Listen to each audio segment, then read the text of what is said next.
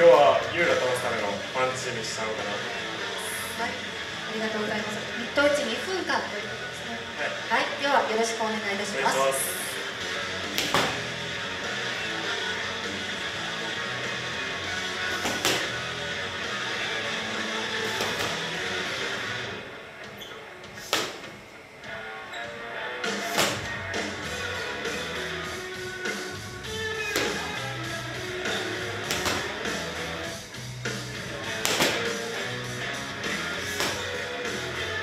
しますえまずは現在のコンディションいかがでしょうか？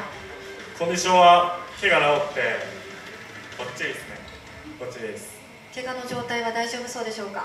さっきの見てもらったら分かるんですけどしっかり殴れるんで100%ですね怪我は対戦相手の印象をお答えください。印象はねユーラでかいですけど打たれ弱いなと思ってるんで、まあ、パンチ当たっても効かんと思いますしだからさっきの公開練習見てもらうと分かるんですけどノーガードでやってるんですよ僕普通にノーガードで打ち合っても倒せるかなと思ってるんでノーガードでいくかなと思ってますえ前回も出場されていますけども、前回の感想、そして今回の意気込みもお願いいたします。前回はねちょっとねチワワになってもうたんで今回、まあ、今回ケロベロスってわけにはいかんですけどこうしっかり倒してあの目標のヤーマン結果売りたいなと思ってますありがとうございます。ではここからは記者の皆様からの質疑応答へと参ります。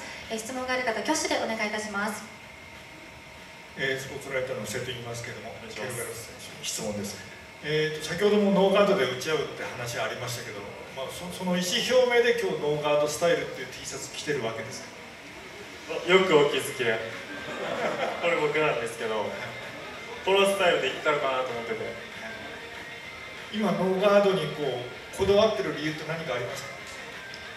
いやよう言われるんですよ俺の試合おも。んないってだからしっかりパンチで打ち合打ち合い好きでしょみんな打ち合いやったのかなと思って、はい、そういうことですもう何戦もオープンフィンガーやってますけども、えー、とオープンフィンガーのやるコツとか何かってこう掴みつつありますかコツはばっちりですねあの怪我してる期間めっちゃ頭使ってたんで僕考えたんですけど考えたらめちゃめちゃ強くなりました。殴り方も分かりました。じゃあもう怪我してる期間もこう決して無駄ではなかったってことですか？いい、まあ、いい怪我とか言ってあれですけど戦えてなかったんで、まあ、考える時間しっかり作れて強くなったんちゃうかなと思ってますえー、と前回のファイトクラブではあのチワワを命名されてしまいましたけどそれを返上するような試合が今回できる予感はどのぐらいありますか？100%ですね。100%です。チワワはもう終わってます。返上しますか？返上します。あーはい返上します。わかりました。ありがとうございます。他いらっしゃいますか？えー、音楽団の向こうです。えっと、相手のユーラ選手が、まあ、因縁のある朝倉未来さんの、まあ、プロデュースしているブレイキングダウン選手でもあるという部分に関して、なんかこう、燃えるものはありますか？うん朝倉未来選手に関しては、まあ、特にないんですけど白川あいつは倒さないと思うんで、まあ、因縁ブレイキングダウン。うん。ないですね白川は倒しますそのうち。まあ、とはいえ、ユーラ選手はあのプロで、えーと、前回あのブレイキングダウンで負けてしまいましたけど、プロではまだ無敗のレコードを持っているという、まあ、選手なんですけど、その無敗ということに関してはいかがです。かああの初の負けがケロベラスで良かったんちゃうかなと思ってます。あの誇れるでしょ初一敗がケロベラスやから良かったんちゃうかなと思ってます。ちなみにあの得意技の地獄パンチなんですけど、どれぐらいパワーアップしてますか？地獄パンチさっきのさっきの見てもらったら分かるんですけどさっきのでも5割ぐらいですから100%エグいでしょじゃあその100%をユーラ選手にぶち込んだ。打ち込んでありますね。しっかり。腹弱いでしょあと。言うが。腹殴ったのかな他いらっしゃいますか？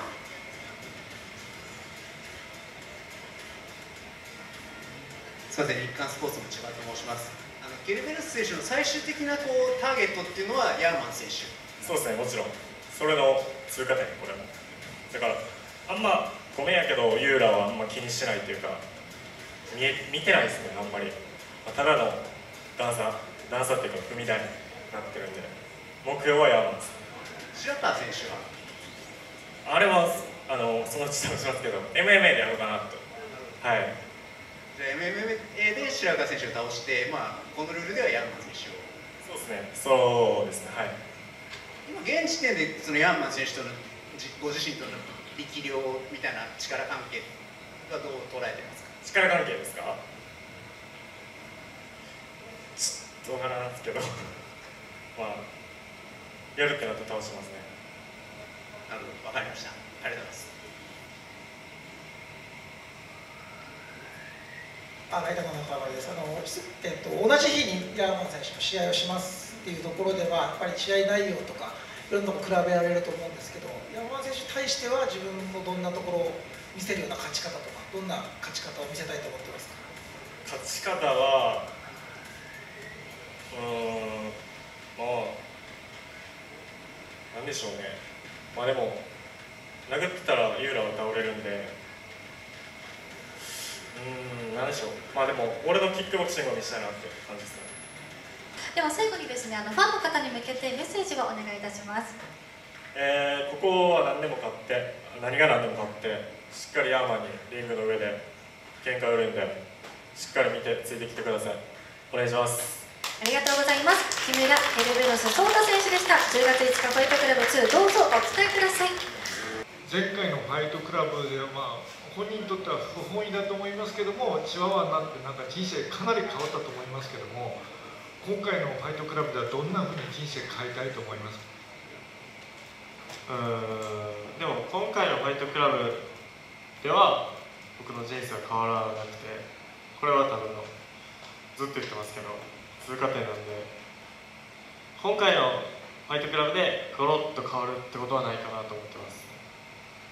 そのゴロッと変わり変わらないっていうふうに思う中であのどういったところは少しでも変えたいというふうに思いますか？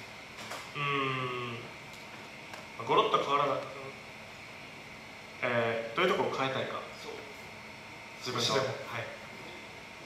えーとねオープンフィンガー2戦ぐらいやってますけど倒せてないじゃないですか。そういうとこですねそういう倒せる力も持ってるっていうのを見せたいなと思ってます。今回かなり倒す練習もされてるってことですか？なんか倒す練習をしてきたってわけじゃないですけど倒せる力がついてしまったんであのやってたら倒れますね。あの今回ね怪我明けの試合になりますけども前回あの今までの試合と比べてもやっぱり倒す力がついてるっていう自信があるってことですか？ありますね。レパートリーが増えたのがまず一つで。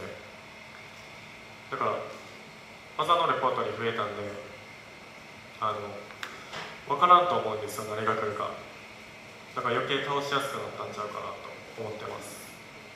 全部明かすわけにはいかないと思いますけどもその増えたレパートリーの一つぐらい明かしていただけますか？うーん1個だけですよ。飛び膝蹴り。飛び膝。はい。今回も出そうですか？あ出します。出せそうやったら。出せそうじゃなくても出します。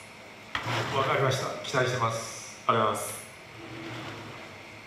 では他ご質問ある方いらっしゃいますでしょうか？千葉さんお願いします。今回の出場っていうのはあの自分で手を挙げたのかオファーが来てっていう感じなのかどっちなんですか？まあ、僕あの俺も出してほしかったですし、まあ、声もかけてもらったし、まあ、去年ねあんな結果残してるんで、まあ、黙ってはおられへんってことですよね。しかもオープンフィギュアですし俺がやらなあかんなって感じですね。じゃあ今回でこう主役の座をこうかっさらっていくみたいな。はい伺いますあれでそのまあチワワっていう名前がついてこう嫌なこともあったと思うんですけどこう知名度が上がっていいこととかそういうのってありました？うんでもまあ声はいっぱいかけてもらえるようになったんで知名度は、ついてきましたけど、まあ、そのめっちゃすごいってわけじゃないですけど。良かったことないですね。